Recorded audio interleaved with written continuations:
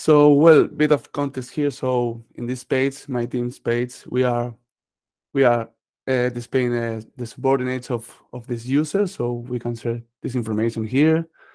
And the most important thing in in in here is that behind the scenes, this is a this is a report builder system report. So we are making some tweaks here. So, for example, instead of um, printing cell, we are rendering a template here. And another important thing is that any plugin can extend this information. For example, here, um, tool program um, component is adding some information here, for example, the program name and the uh, progress of completion. Also, if this is an overdue item for this user, and same for courses, jobs, and etc. Also, um, any component can extend and can add some some extra links here uh, to the full reports. And last but not least, um, the components can also add some warnings. For example, here we are we are seeing that some team members have overdue programs.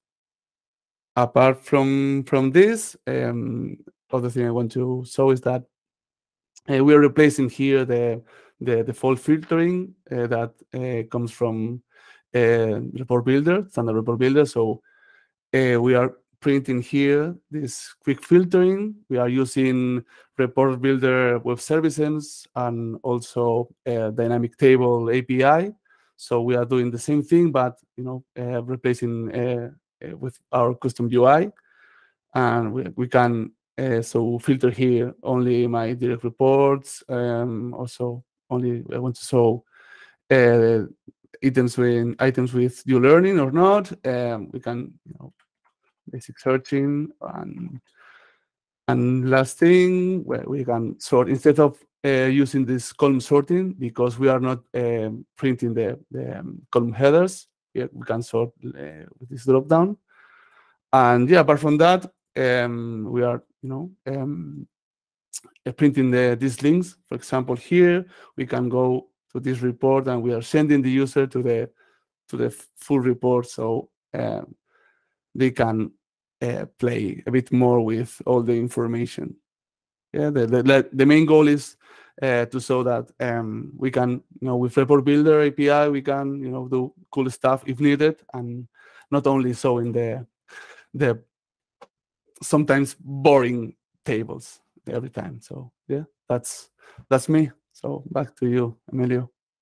Okay, so the next uh, big feature we want to demo is the uh, is the tenant colors that we generate automatically on tenant branding. So over to you, Andres. Hi everyone. So I'll start sharing my screen.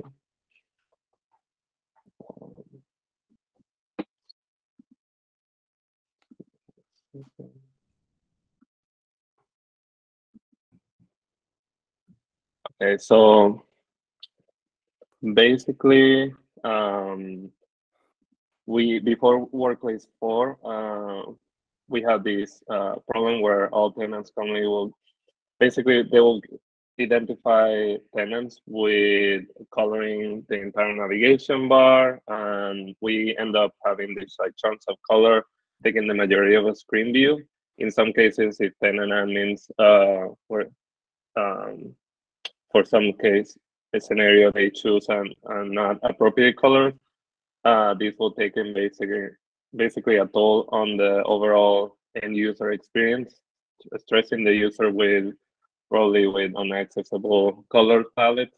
So in Moodle Workplace, we went for a much cleaner approach without these chunks of, uh, of colors and the, the option to set the entire navigation background color was removed. And we're introducing now an algorithm that generates uh, grayscales and improves the, the selected color in some case scenarios. So I'm gonna demo that uh, in here. So first, I'm gonna log in as an admin. Uh, I'll go to appearance, and then let's pick um, a very light color. For example, a very light blue, and then uh, let's go to my colors. And then, even though this is a very light blue, you'll see that uh, this um, option is selected. Let's let's go back and change maybe uh, darker.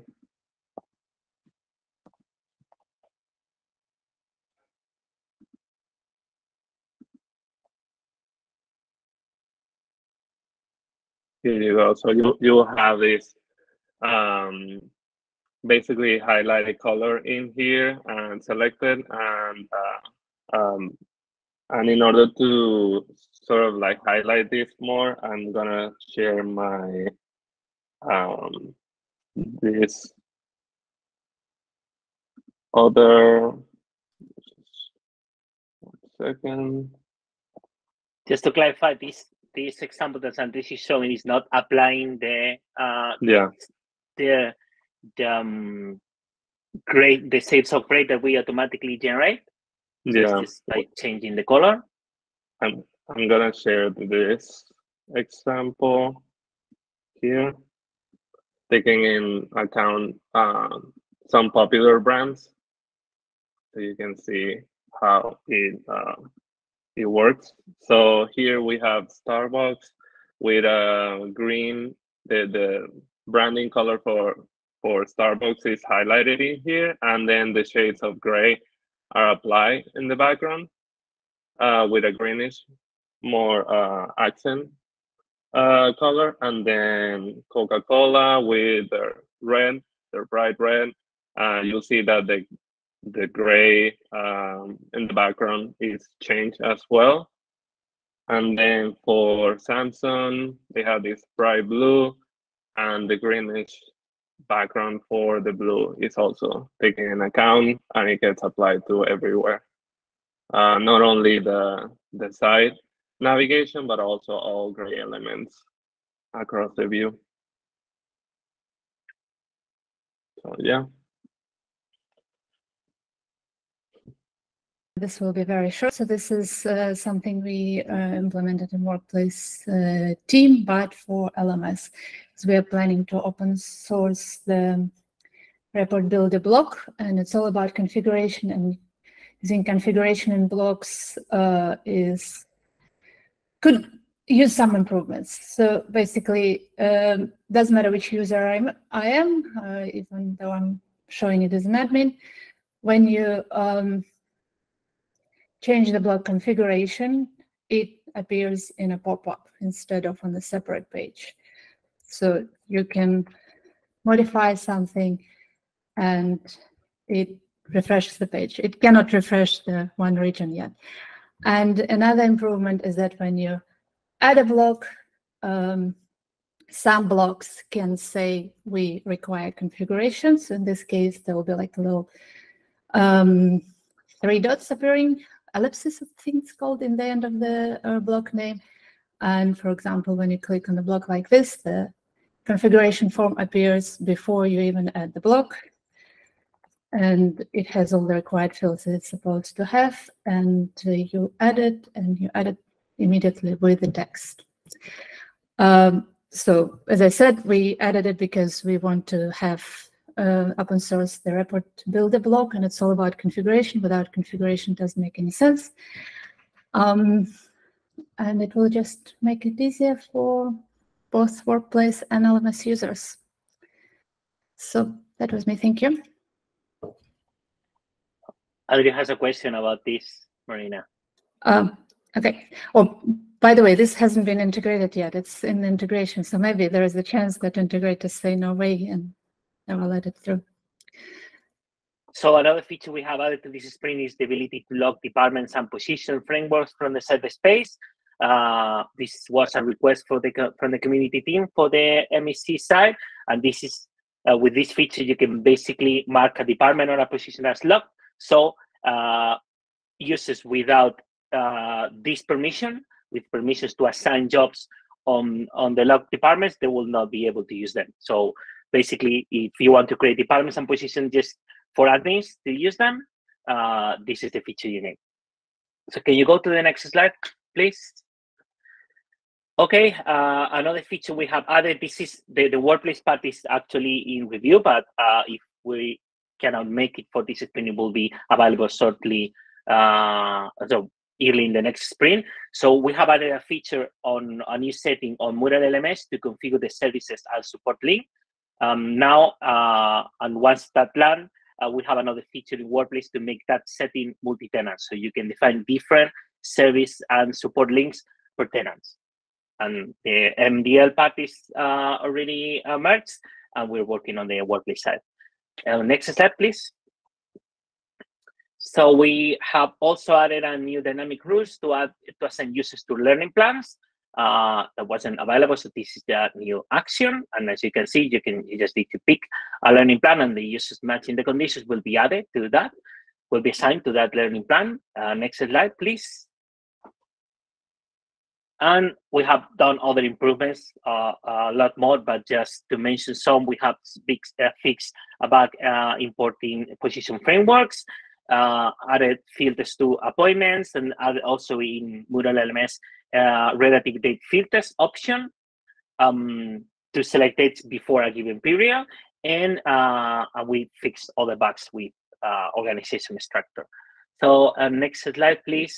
I think is the last one, Adrian.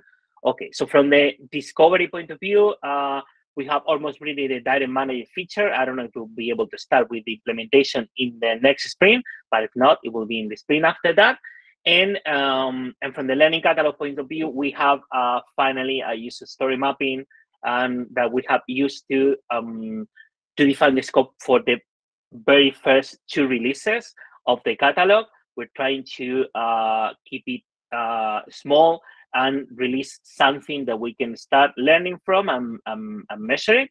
And, and that's the intention. So the, in, the, in the very first release, we're basically replacing the functionality of the course catalog in, in Moodle, uh, the slash course page with our new catalog. And this is what we are going to add and start measuring and learning from.